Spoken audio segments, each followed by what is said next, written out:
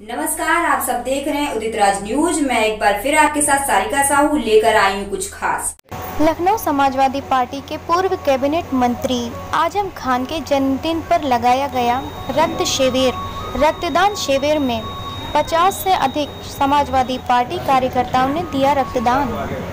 साथ ही समाजवादी पार्टी के सदस्यों ने मरीजों को बांटे फल इसी के साथ समाजवादी पार्टी के कार्यकर्ताओं ने आज़म खान की सेहत के लिए करी दुआएँ। पेश है उदितराज न्यूज़ से लखनऊ संवाददाता प्रभात कश्यप की खास रिपोर्ट। देखते रहिए उदितराज न्यूज़। ब्लड बैंक में। आप लोगों को बता दें आज शिक्षा जनाब मोहम्मद आज़म खान साहब का जन्मदिन। है आज हम लोगों ने केक ना काट कर जिस तरीके का माहौल है, परेशानी है, हॉस्पिटल में ब्लड नहीं है, लोग बहुत परेशान हैं।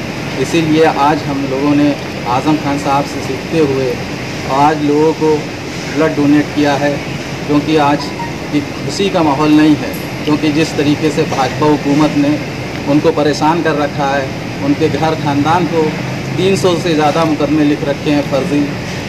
इसलिए ये खुशी का माहौल नहीं है। और जिस तरीके से इस जालिम हुकूमत ने कुछ काम ना करके जनता को परेशान किया है, आज हर तरफ़ जिधर भी चले जाइए, चाहे जिस शहर में चले जाइए, लोग परेशान हैं।